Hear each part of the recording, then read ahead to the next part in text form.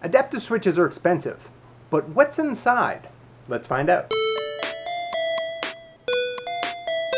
Hey Internet, I'm that guy Bud. Today we're going to look at adaptive switches. We're going to tear down one of the most popular models and see what's inside and look at some DIY options. This is the Jelly Bean Twist. It's a small, responsive, pretty elegant model actually.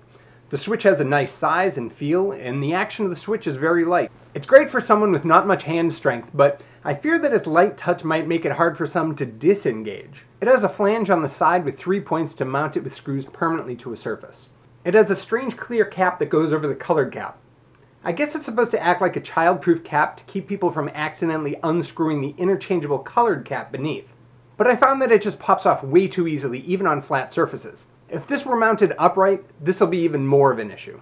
But enough of what's on the outside, let's see what's on the inside. First off, we'll remove that clear cap and unscrew the colored cap beneath it. At this point you can see the switch at the heart of the case. Let's get further in. There are three screws holding the main case together. Let's get those out. This button is just held in by a couple plastic pegs. This section of the base is support for one side of those pegs. If we detach this cable, we can see the pegs and how the button slides off. Slide the button off, the cable out, and that's it. That's all there is to it. At the heart of this switch is an Omron G3P series switch with some nice big solder points. This switch goes for between a dollar and a dollar fifty depending on how many you buy. But the real cost in this switch is the body. Custom injected molded parts are expensive.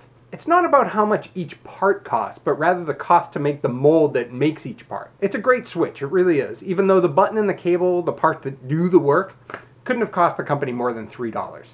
Let's compare this button to a completely different product. This is the answer button from Learning Resources. It's used like a game show buzzer for classroom activities. It's a firmer button and it clicks, but not as loudly as the AbleNet button. It doesn't have screw points, but it does have four rubber feet to keep it from sliding around. Here's the question. How can we modify this button to function like this button? Let's tear it down to see what's inside. When you take off the feet, you'll see some screws underneath. Take out those four screws, and the whole thing comes apart. Inside you can see the battery case, a speaker to produce the sound it makes, and this board here. This blob contains the sound chip, and this big metal piece here is what's called a dome switch. They're pretty common in tactile buttons like these, or in older game controllers like the ones for the Atari 2600. They're cheap, but very reliable. We're going to disconnect the battery compartment so it can no longer produce sound. I could take out the speaker, but it isn't bothering anyone. The way that this switch works is that the outer perimeter of the dome touches one contact of the switch. When the dome is compressed, the middle part of the dome touches the other contact, which is underneath it. So we just need to connect a couple wires to the two contacts the dome uses. There's some tape holding the dome down, so we'll put some solder here to connect it to the ring section, and here for the other contact. In order to make this work, we need to pass a cable through to connect it to these points. I want it to go through this ring, so I mark my place and make a small hole. I'm going to take a mono eighth inch audio cable and cut it in half. Then I'm going to pass it through the hole, strip off some insulation,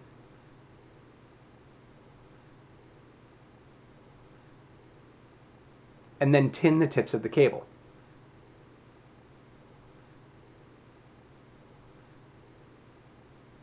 Then I'll solder the cables to those points